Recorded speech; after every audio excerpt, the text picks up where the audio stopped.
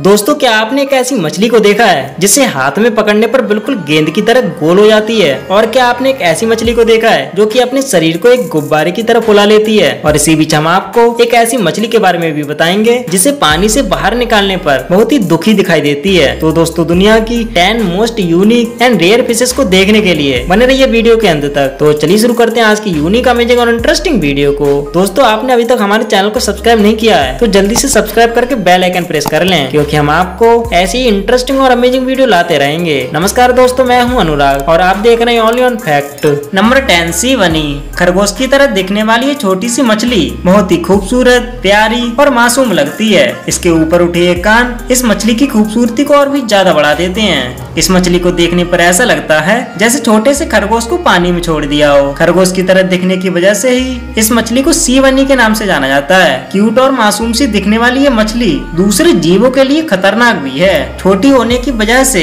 ये मछली दूसरे बड़े जीवों पर हमला तो नहीं कर सकती, लेकिन कोई भी जीव इसे मारने या फिर खाने की कोशिश करता है तो वो इस पर एक बार अटैक करने के बाद दोबारा अटैक करने के बारे में सोचेगा तक नहीं। वो इसलिए क्योंकि इस मछली के शरीर में एक खतरनाक जहर पाया जाता है, जो शिकारी जीवों के लिए बहुत ही हानिकारक होता है। और आपको जानकर हैरानी होगी कि जो जहर शिकारी जीवों के लिए हानिकारक है, वही जहर हम इंसानों के लिए बहुत ही यूजफुल भी है। वैज्ञानिकों की रिसर्च के अनुसार, इस मछली के जहर का उपयोग कैंसर के इलाज में बनने वाली दवाइयों में इस्तेमाल किया जा सकता है। नंबर नाइन कॉफिन फ़िश गोल आकार की संरचना वाली इस मछली का पूरा शरीर कांटों से भरा होता है। कांटेदार शरीर होने की वजह से ये मछली बेहद ही डरावनी लगती है। इस मछली को नज़दीक से देखने पर यह कोई फूले हुए गुब्बारे की तरह लगती है। इनका मुँह काफ़ी बड़ा होता है और इनके छोटे छोटे दांत बहुत ही ज़्यादा नुकीले होते हैं। ये मछलियाँ अधिकतर ऑस्ट्रेलियन पूर्वी तट के साउथ वेस्टर्न प्रशांत महासागर में पाई जाती है और इस मछली को समंदर में करीब एक से लेकर आठ 8202 फीट की गहराई में देखा जा सकता है। कॉफिन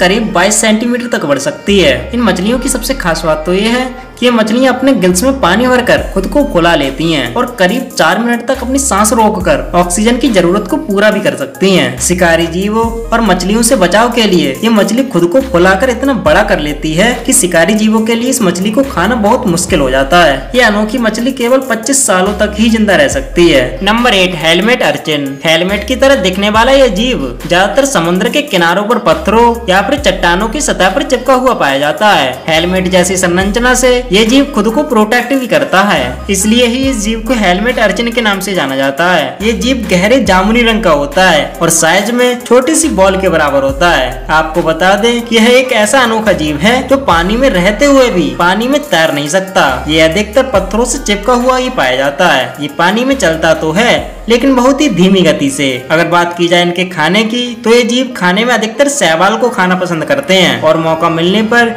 ये अपने से छोटे छोटे जीवों को भी अपना भोजन बना लेते हैं। आपको जानकर हैरानी होगी ये जीव समंदर में 200 साल तक ज़िंदा रह सकता है और इन जीवों की प्रजातियों की संख्या समंदर में धीरे धीरे बढ़ती ही जा रही है। Number seven, puffer fish. इस मछली का पेट इतना लचीला होता है कि ये अपने पेट को 360 डिग्री फुला लेती है और ये ऐसा तभी करती है जब इसे किसी से डर लगता है। इस मछली की 120 से भी ज़्यादा प्रजातियाँ पाई जाती हैं, जो कि अधिकतर प्रशांत महासागर और एटलांटिक महासागर के गर्म पानी में पाई जाती हैं और इनमें से 30 प्रजातियाँ मीठे पानी में भी पाई जाती हैं। पफर मछलियों में पानी को स्टोर करने की क्षमता ज़्यादा होती है। जब कभी इन्हें किसी से डर लगता है, तभी अपने शरीर को फुलाकर एक गेंद के जैसा बना लेती हैं। अगर बात करें इस मछली की लंबाई की तो इस मछली की लंबाई करीब एक इंच से लेकर दो फीट तक होती है। आपको जानकर हैरानी होगी कि पफर मछलियों की सभी प्रजातियों में जहर पाया जाता है। एक रिसर्च के अनुसार, एक पफर मछली में 30 इंसानों को मारने के लिए पर्याप्त जहर होता है। इतना जहर होने के बावजूद भी, जापान में इस मछली की कई प्रजातियों को बड़े चाव के साथ खाया भी जाता है। Number six, nautilus fish.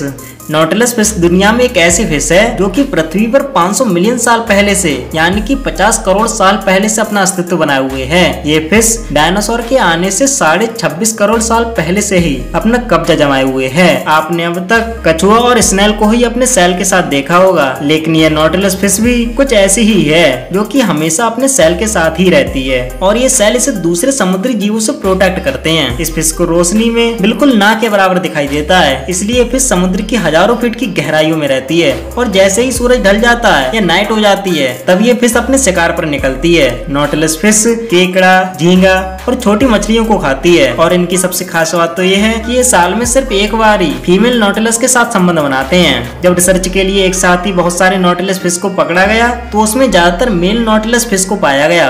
ये फ़िश अपनी लाइफ में पंद्रह साल से भी ज़्यादा समय तक जी सकती है। नंबर फाइव स्टोन फ़िश यह मछली यह सोचने पर मजबूर कर देती है ये कोई फ़िश नहीं, बल्कि एक पत्थर है। ये बहुत ही जहरीली मछली है। और तो और, यह इस तरह से छिप जाती है कि कोई इसके सामने होते हुए भी इसे देख नहीं पाता है। ये फ़िश बेहद ही खतरनाक है। इसका नाम स्टोन फ़िश इसलिए पड़ा क्योंकि ये पत्थर की तरह दिखती है। इस मछली को आप पैसिफिक और इंडियन ओशियन के आसपास देख सकते हैं। अगर आप गलती से भी इसे पत्थर समझकर इसके ऊपर खड़े हो गए तो ये आपके पैरों में जहर छोड़ देगी। अगर इस मछली को कभी खतरा महसूस होता है तो यह अपने शरीर पर मौजूद कांटों का यूज़ भी करती है। और अपने कांटों से ही किसी के अंदर जहर छोड़ सकती है। Number four fangtooth fish.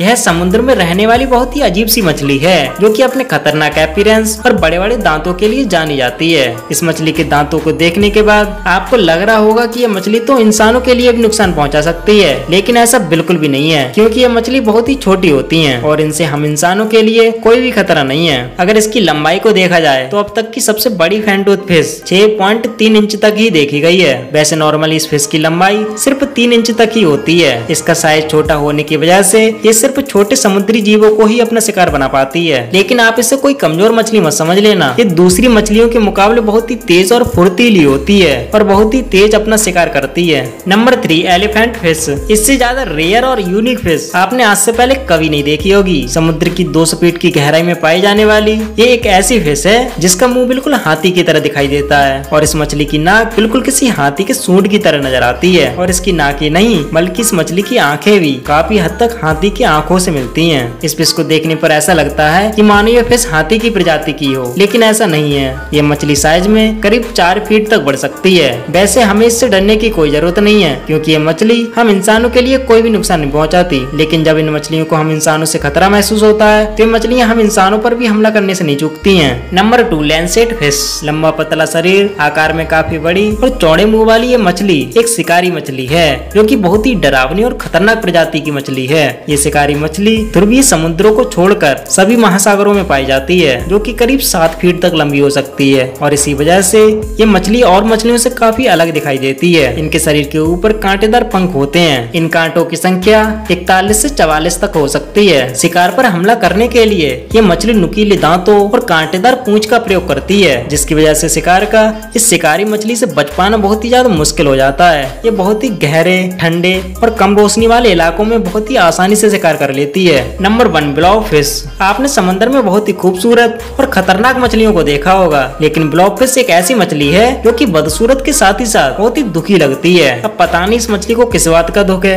यह मछली ऑस्ट्रेलिया और तस्मानिया के समंदर के किनारों पर और न्यूजीलैंड के समंदर में गहरे पानी में पाई जाती है। ब्लॉक फ़िश समंदर के पानी में तीन हज़ार फीट की गहराई में रहती है, जहाँ पर वाटर प्रेशर बहुत ही ज़्यादा होता है। और जब कभी ये मछली किनारों पर आती है या फिर इन्हें पानी से बाहर निकाला जाता है तो इस मछली का फेस कोई दुखी इंसान की तरह लगता है। इतनी गहराई में रहने के बाद भी ये मछली बहुत ही खूंखार शिकारी मछली होती है। अगर इनके खाने की बात करें तो ये मछली खाने में अधिकतर केकड़ों को खाना पसंद करती है। हालाँकि आज के समय में इन्हें एंड एंजर्ड स्पीसीज घोषित कर दिया गया है, क्योंकि समंदर में मछलियाँ बहुत ही कम बची हुई है। तो दोस्तों, आज के लिए इतना ही। दोस्तों, दुनिया भर की इन अनोखी और अजीब मछलियों में से आपको सबसे अच्छी मछली कौन सी लगी? मुझे नीचे कमेंट बॉक्स में कमेंट करके ज़रूर बताना। दोस्तों, अगर वीडियो अच्छी लगी तो वीडियो को लाइक और चैनल को सब्सक्राइब ज़रूर कर लेना। और साथ ही बेलाइकन को प्रेस करना बिल्कुल भी ना भूलना, ताकि आने वाली हमारी नई वीडियो का नोटिफिकेशन आप तक पहुँचता रहे। तो दोस्तों, मिलते हैं एक और इंटरेस्टिंग और अमेजिंग वीडियो के साथ। तब तक के लिए बाय बाय